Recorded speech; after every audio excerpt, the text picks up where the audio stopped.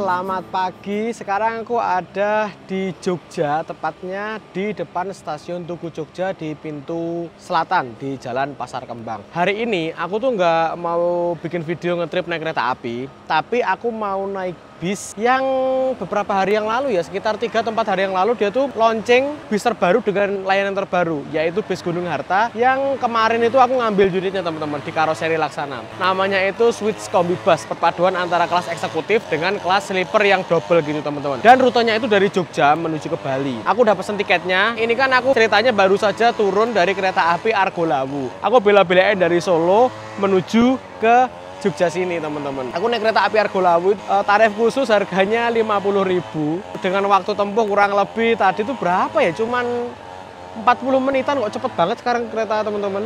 Nah ini sekarang aku dari sini stasiun Tugu Jogja mau lanjut ke terminal Jombor naik ojek online. Mungkin dari sini ke sana kurang lebih sekitar ya 6 kilo lah, 6 kilo dari sini. Yuk sekarang langsung kita menuju ke terminal Jombor yang ada di Kabupaten Sleman di sana. Udah antar kota nih dari kota Jogja menuju ke Kabupaten Sleman, mana deket loh.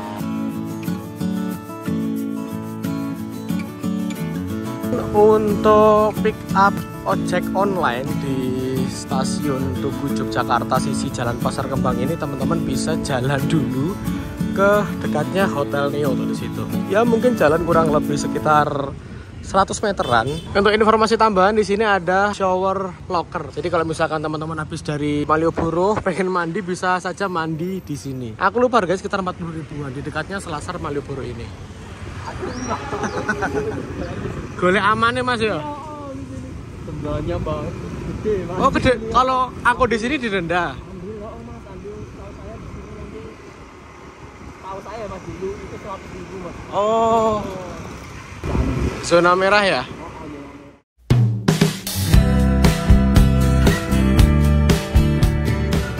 Yogyakarta salah satu kota dengan mobilitas tinggi di Indonesia. Selain posisinya ada di tengah-tengah Pulau Jawa, Jogja ini juga bisa disebut sebagai destinasi wisata favorit untuk saat ini. Ditambah lagi statusnya sebagai kota pelajar. Banyak banget sekolah dan perguruan tinggi ada di sini, menambah tingginya kunjungan di kota ini. Seiring dengan tingginya mobilitas di sini, layanan transportasi keluar dan masuk Jogja pun semakin berkembang pesat, mulai dari pesawat, kereta api, hingga yang akan aku naiki yaitu bus. Kali ini aku akan naik bis sleeper menuju ke Bali dengan keberangkatan dari Terminal Jombor Jogja.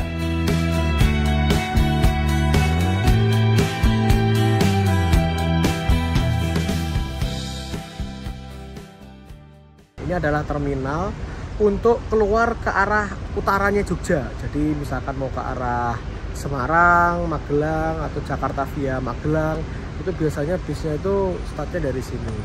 Tapi eh, aku akan naik bis yang tujuannya itu ke arah timur yaitu naik Gunung Harta dengan rute Jogja menuju ke Denpasar.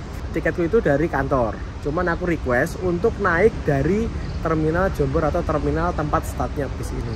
Ini masih nyari bisnya di mana ya? Ini ada bis Sindoro Satria Mas. Oh kayaknya itu ada warna merah itu. Di antara PO Haryanto sama Sinar Jaya yang switch class. Kayaknya itu tuh teman-teman. Yuk kita langsung aja ke sana ya. Masih satu jam sih keberangkatan bisnya, masih lama. Ini terparkir ada bis switch kelas Sinar Jaya tujuan Jakarta. Startnya dari Jombor ini sekitar jam 3 kalau nggak salah. Terus itu ada bis PO Haryanto yang pakai legasi SR2. Langka ya PO Haryanto pakai legasi SR2 ini. Unicorn. Dulu kalau nggak salah pernah jalan Jogja, eh, Jogja, Malang deh ini. Terus ada Adibus juga. Ini ke arah mana yo? Sukabumi apa mana gitu loh. Atau Bogor ya kayaknya ya. Oke, ada PO Haryanto juga dan bis yang akan aku naiki ini teman-teman. Ini nih yang akan membawaku ke Denpasar, bis yang warnanya itu paling mencolok merah merona. PO Gunung Harta dengan bodi legasi generasi terbaru SR3 series Switch Kombi. Ketika aku naik ini di tanggal 21 November 2022, bis ini masih jalan 1 PP teman-teman dari Jogja ke Denpasar, alias masih awal-awalnya jalan sekitar jam setengah sebelas ini mobilnya atau bisnya ding bisnya ini udah dinyalain AC dan uh, mesinnya udah persiapan ditaruh di jalur keberangkatan. Aku tadi udah izin sama krunya untuk ambil gambar dulu sebelum penumpangnya ini rame teman-teman. Yuk kita langsung aja masuk. Tapi enaknya kita masuk lewat pintu tengah aja ya. Ini bisa baru kelar dicuci dan udah baru kelar dibersihin nih teman-teman kita masuk lewat sini. Udah ditutup ini bisnya akan menuju ke land keberangkatan. Nah sekalian kita akan nge-review bis ini teman-teman. Kita mulai dari belakang dulu deh karena kalau kemarin waktu aku nge-review di Laksana itu kan depan dulu. Nah ini sekarang aku mau nge-review yang belakang dulu nih teman-teman. Ini ada kelas suites atau sleeper dengan harga 550 per seat. Tapi yang spesial seatnya ini tuh konfigurasinya unik teman-teman. Satu dua kayak gini. Loh. Lah ini bisa berduaan di sini dari Jogja menuju ke Bali.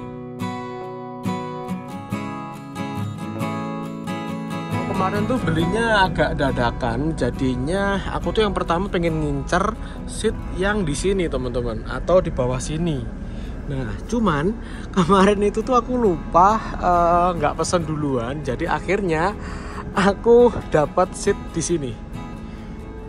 Nah, SL sleeper nomor 12 di sini teman-teman. Dan nggak tahu ini nanti siapa nih, nggak tahu ini cewek atau cowok, nggak tahu ya di sini ya.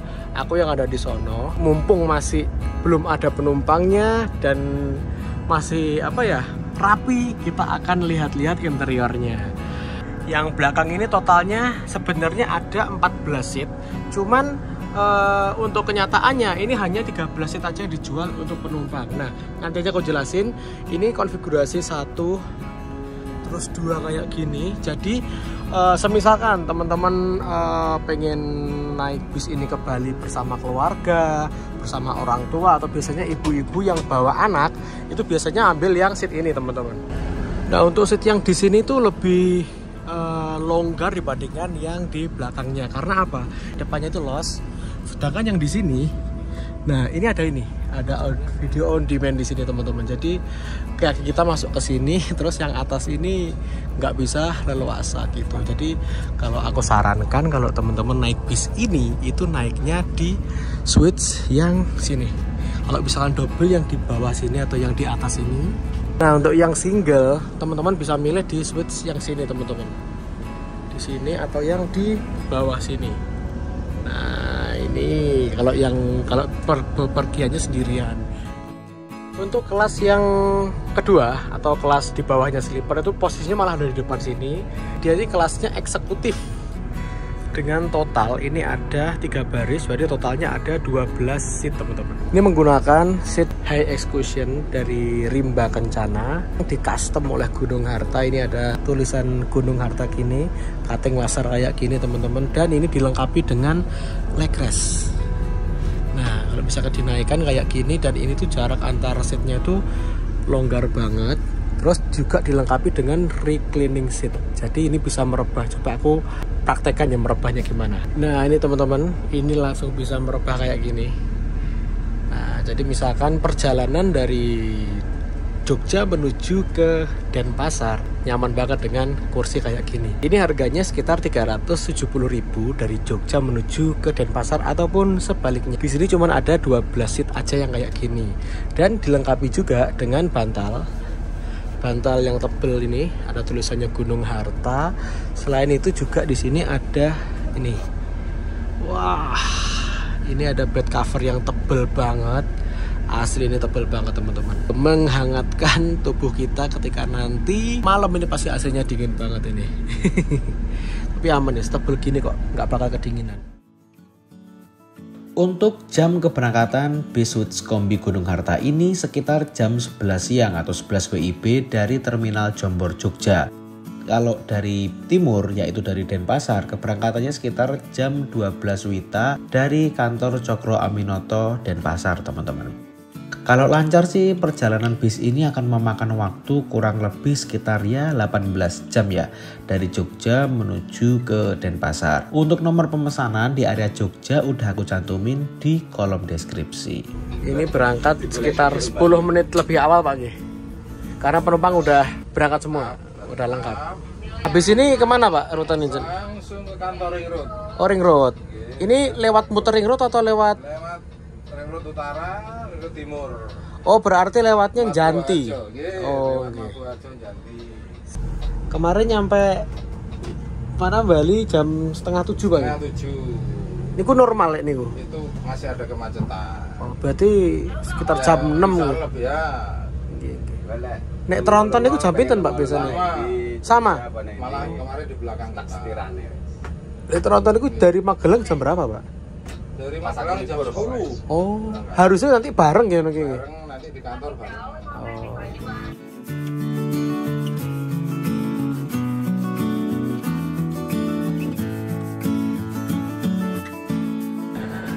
Ini kita udah berangkat meninggalkan Jombor. Dia tuh lewatnya Ring Road Timur teman-teman, nggak muter di sono karena katanya terlalu jauh. Makanya dia lewatnya sini teman-teman. Dan ini lagi terjebak lampu merah di perempatan Gejayan nih teman-teman, sama Condong Catur. Wah ini nggak asing nih, tempat-tempat ini familiar banget bagiku. Karena aku dulu pernah kuliah di UGM di sekitar sini juga. Jadi lintasan gue hampir setiap hari lewat sini teman-teman. Jadi nostalgia nih. Dan ini mumpung kelas eksekutifnya penumpangnya masih belum penuh. Nah sekarang kita lihat-lihat aja lagi. Kayak gini teman-teman kalau udah jalan. Eh, menggunakan sekat ya. Jadi misalkan pengen ngerokok tinggal maju ke depan. Cuman ini eh, pandangannya itu sedikit terhalang karena adanya double glass ini teman-teman. Sekarang kan eranya single glass ya. Ini masih ada double glass. Eh, kemarin aku sempat tanya sama Pak Kadek selaku ownernya bis ini, kenapa kok masih pakai double glass kok enggak pakai single glass kalian? Kan di Bali kan view-nya bagus ya, terutama di daerah Jemberana di pinggir laut. Cuman kata beliau itu di daerah lintasan bis ini ini masih banyak terjadi pelemparan kaca bus. Jadi kalau misalkan kalau kayak gitu untuk meminimalisir resiko dan biaya juga misalkan ada kayak amit-amitnya ada kayak gitu. Ganti kacanya nggak terlalu mahal teman-teman. Salah satu pertimbangannya kenapa kok bis ke Bali ini masih menggunakan double glass padahal di era single glass. Padahal kalau ini pakai single glass cakep loh. Sekatnya ini pun juga pakai akrilik jadi tembus pandang. Penumpang tuh visibilitas ke depannya masih bagus.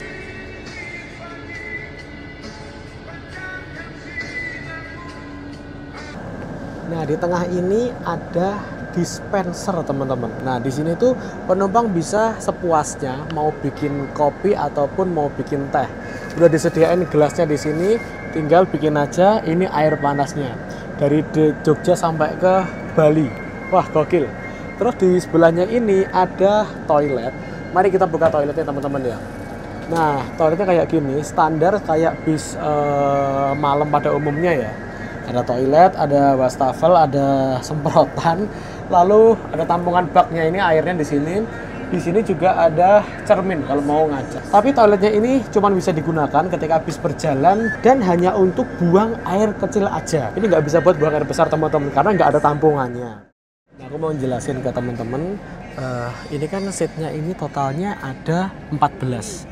Tapi kok jadi 13 yang single kayak gini yang paling belakang itu ternyata difungsikan sebagai ruang kru teman-teman. Atau ruang driver duanya. Jadi kan di sini selama perjalanan itu ada dua driver. Yang satu lagi bertugas yang satunya istirahat di sini.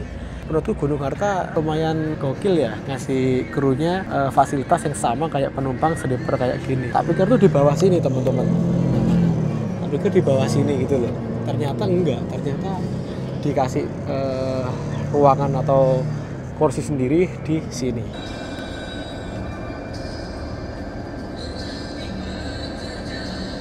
Aku kok penasaran pengen nyobain seatku ya tadi tadi muter-muter belum duduk di seatku yang sebenarnya SL12 tadi kalau nggak salah. Jadi kita langsung aja naik dengan ini. Ada tangganya ini di sini. Jadi kaki kita harus mancat ini teman-teman. Ini sekarang aku ada di seatku teman-teman. Seat nomor SL12 yang double ini. Ini gara-gara aku pesennya itu mepet-mepet teman-teman. Aku lupa gak pesen.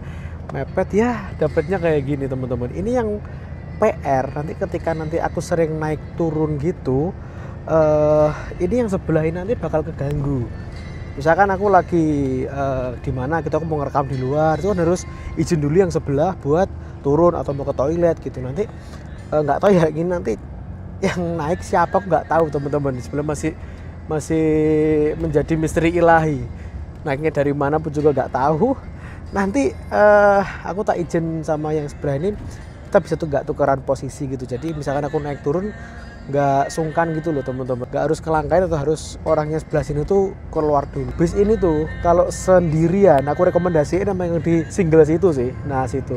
Tapi kalau teman-teman sama keluarga sama orang tua sama dengan pasangan sama suami istri gitu enak yang di sebelah sini teman-teman. Lebih enak gitu. Dari Jogja menuju ke Bali ataupun sebaliknya dan ini tuh yang lebih enak tuh biasanya kalau ada ibu-ibu bawa anak-anak gitu ya anaknya kecil gitu. Kalau naik sleeper biasanya kan berdua satu seat itu jadi dua. Kalau ini langsung aja dua kayak gini. Nah kayak gini langsung aja teman-teman. Jadi lebih enak gitu loh. Ngejelasin fasilitas yang kita dapat ketika kita naik suite kombi busnya Gunung Harta ini teman-teman. Harga tiketnya 550 fasilitas yang pertama kita akan ada hiburan audio video on demand kayak gini. Yang ini basisnya Android bisa main game. Ini gamenya banyak nih kayak gini. Kembali ini gimana? Oh ini. Nah terus ini, ini touchscreen ya. Ada lokasi terus ada internet. Misalkan disambungin jaringan wifi dia akan bisa ngeplay musik dan lain sebagainya dari sini. Juga ini ada film. Kalau misalkan malam bisa kita matiin ini. Ruang kaki kita. Ya gimana ya? Lumayan sih standar kayak gini. Cuman ya masih longgar yang depan dibandingkan dengan yang ini. Karena ini kan ada ini kan teman-teman. Jadi nggak bisa naik-naik itu kaki kita. Kita harus masuk ini. Privasi nih teman-teman. Nah ini. Ini kan ini penumpangnya nggak tahu siapa nih nanti. Bisa ditutup kayak gini. Nah ini. Set. Loh ditutup gini teman-teman. Jadi misalkan teman-teman tidur kalau tidur tuh ngorok atau gimana. Eh nggak ngorok sih. Kalau tidur tuh mangap atau gimana gitu kan malu kan. Jadi bisa ditutup kayak gini. Karena kan ini posisinya deket banget ini ini ada cup holder lalu ada tempat untuk naruh barang dan untuk ngecas. Di sini tuh udah disediain ini colokan USB untuk ngecas HP nih teman-teman. Tapi nggak boleh buat ngecas power bank ya. Juga kita akan kita akan dikasih fasilitas onboard itu guling ada gulingnya loh. Bed cover atau selimut yang tebal banget kayak gini. Ini ada bantal teman-teman di sleeper sini Terus buat teman-teman yang tanya, ini apa ini? Ini kalau dipegang dingin banget, berarti ini adalah saluran AC dari atas ini turun ke bawah. Untuk bis sleeper atau suites kayak gini tuh jadi PR tuh biasanya masalah AC teman-teman. AC-nya itu kan harus rata di setiap bilik-bilik gini sedangkan pusatnya cuma ada di atas gitu makanya harus dikasih saluran khusus kayak gini ya walaupun mengorbankan space ruang sih tapi ya mau gimana lagi biar yang bawah juga dingin teman-teman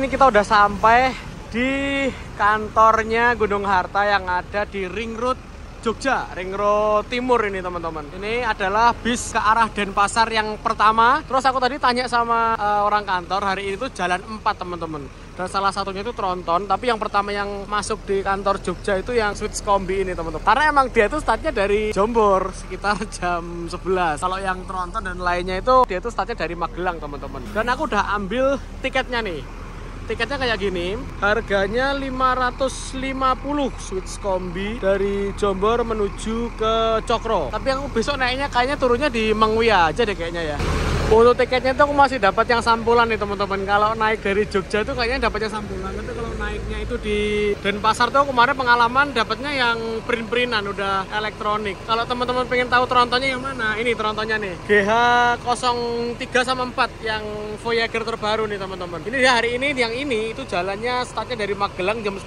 Mungkin habis ini akan nyusul bis ini teman-teman. Jalannya depan belakang kok. Ya moga-moga nanti konvoy. Sekedar informasi aja, bis ini tuh menggunakan sasis Mercedes-Benz OH1526 yang udah dimodifikasi menjadi space frame. Biasanya kan dia nggak space frame ya, ada batang sasisnya. Tapi ini bagasinya bisa tembus kayak gini. Itu dimodifikasi sama karoseri laksana dan tentunya udah koordinasi dengan ATPM atau pihak Mercedes-Benz-nya teman-teman. Jadi ini bisa lebih luas, bisa buat nampung motor pun bisa nih teman. Dan juga ini kemarin tuh waktu aku di uh, laksana, aku dikasih tahu bahwa bis ini itu juga ditambahi suspensi udara. Kalau 1526 itu kan dia pakai per daun. Kalau ini udah dikasih suspensi udara dari karoseri Laksana. Ini kan 1526 sama 1626 itu salah satu pembeda yang paling utama itu dia itu dilengkapi suspensi udara dan nggak dilengkapi 1526 itu nggak dibawain suspensi udara dari Mercy-nya teman-teman jadi harus dibuat sendiri dan menurutku kalau yang dibuat sendiri itu lebih anteng karena apa? Dia ini yang 1526 itu tipe suspensinya itu dia pakai suspensi white yang kayak Mercy Osor 1836 gitu. Jadi lebih anteng lebih stabil sedangkan yang 1626 bawaannya Mercy itu dia malah pakai yang tipe Nero ada kemungkinan limbungnya itu lebih besar dibandingkan dengan yang white teman-teman. Tapi ada konsekuensinya. Itu konsekuensinya kalau nggak salah kalau ngerubah apa yang udah ada sama Mercy itu biasanya itu ada beberapa garansi atau warranty yang uh, harus dikorbankan. Tapi ini ini semua udah diperhitungkan matang-matang oleh PO Gunung Harta ini teman-teman. Bapak Ibu konsumen Gunung Harta, uh, karena ini perjalanan perdana, maka kami akan mengadakan undian yang hadiahnya berupa payung, kaos, sama mug cantik Gunung Harta.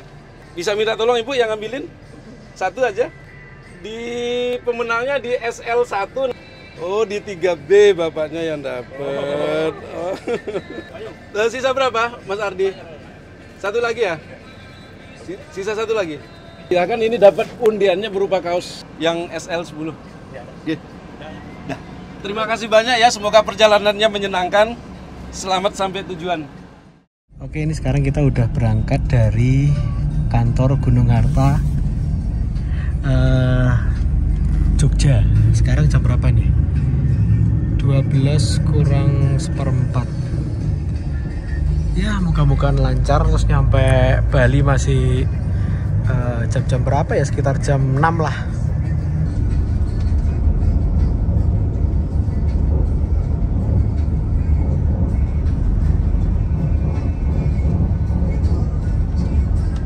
ini sekarang perjalanan menuju ke terminal Giwangan kayaknya nih ke arah uh, selatan ini.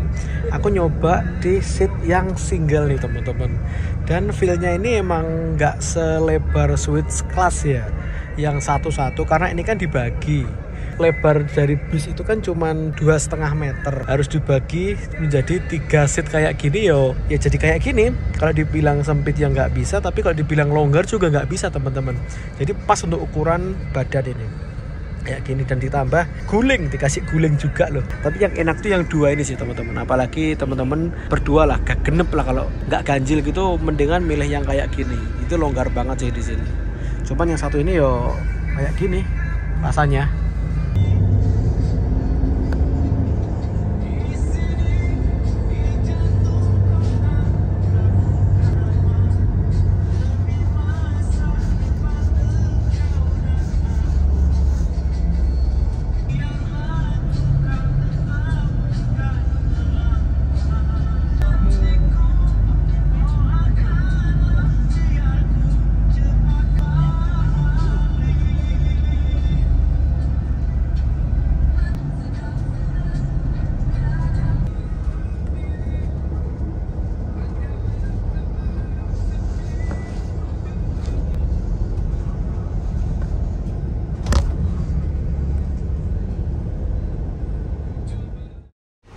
ini kita udah sampai di terminal Giwangan. Ini pas hujan nih. Di sini tuh uh, ternyata ngambil penumpang juga selain di Jombo juga ngambil penumpang di Giwangan. Oh ternyata nggak ngetem di sini teman-teman. Dia langsung berangkat nih kayaknya. Ini kita lihat itu ada bis Tamijaya tapi yang kelas eksekutif dia juga punya yang suite kelas sih. Yang tapi seatnya satu-satu kalau ini kan 21 kalau yang Tamijaya tadi itu satu-satu juga ada bis manager tujuan ke Denpasar yang berangkat malah ini dulu teman-teman. Nah di sini tuh tempatnya efisiensi itu parkir. Wadah bis yang single glass nih. Nah, sini adalah shelternya bis ATB kayak Mira Sugeng Rahayu ataupun Mila yang tujuan ke Banyuwangi teman-teman. Nih berhentinya cuma berapa menit tadi? Satu menit nggak ada. Naikin penumpang langsung berangkat lagi. Yang tronton kayaknya malah nggak ditungguin ini.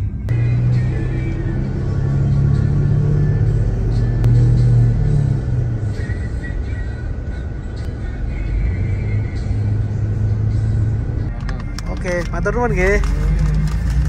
Wah, kita dapat snack nih teman-teman pembagian snack uh, bis switch kopinya Gunung Harta. Kayak gini bentuk snacknya.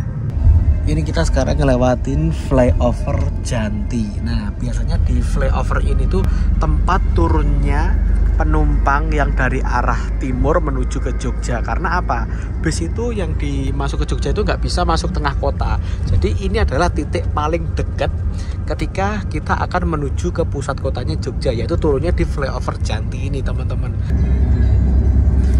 di sini itu adalah kawasan wisata Candi Prambanan teman-teman. Nah masuknya dari sini. Dan kalau apabila kita udah masuk di sini berarti kita udah mau masuk di provinsi Jawa Tengah. Kita udah meninggalkan provinsi daerah istimewa Yogyakarta. Kelihatan nggak tuh? Oh nggak kelihatan ya? Oh itu kelihatan dikit tuh ini kita ngelewatin rel berarti kita udah berada di Kabupaten Klaten nih teman-teman Terus itu uh, sebentar lagi kita akan masuk di terminal IR Soekarno Klaten. Oke teman-teman kita buka ya ini isinya apa kita unboxing. ini adalah snacknya yang baru saja dibagiin. Jadi yang pertama itu ada dua permen roti sepotong gini tuh kayak bakpia gitu teman-teman yang diplastikin satu biji gini lalu ada kacang terus ada air mineral 330 ml juga minuman yang rasa-rasa ada teh botol. Tapi teh botol kok bentuknya kotak gini ya? Ini berapa mili? 250 mili teman-teman. Jadi ada berapa macam? Mari kita hitung. 1 2 3 4 5 6 ada 6 item yang ada di kantong snacknya bis Gunung Harta ini Terima kasih buat teman-teman yang udah nonton video ini sampai selesai. Tonton juga video-video saya yang lainnya dan apabila bermanfaat bisa kalian share ke teman atau ke saudara. Jangan lupa subscribe dan aktifkan lonceng pemberitahuan. Terima kasih.